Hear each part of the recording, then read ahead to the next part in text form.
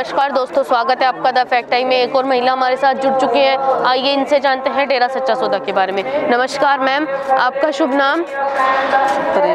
कितने समय से आप डेरा सच्चा सौदा से जुड़े हुए हो? छब्बीस साल से।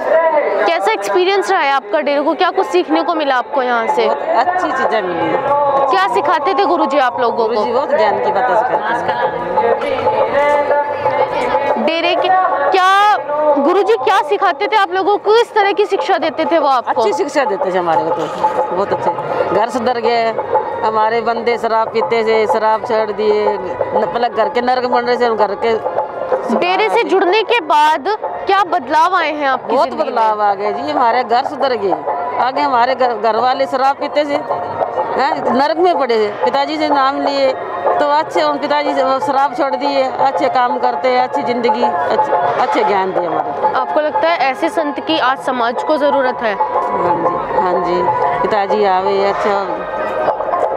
लड़कियों की सुरक्षा कैसी है डेरे में? हम तो कोई गलत नहीं देखे।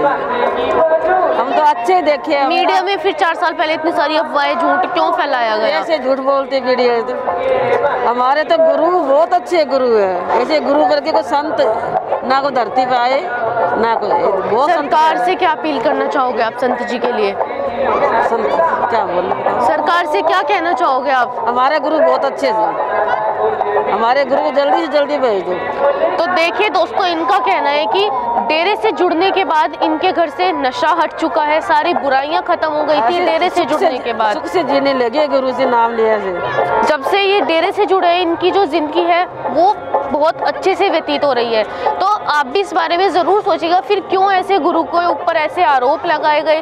क्यों उन्हें झूठे आरोपों में क्यों फंसाया गया? आप भी अपनी राय कमेंट बॉक्स में ज़रूर डालिएगा और हमारे साथ देखते रहिए द फैक्ट टाइम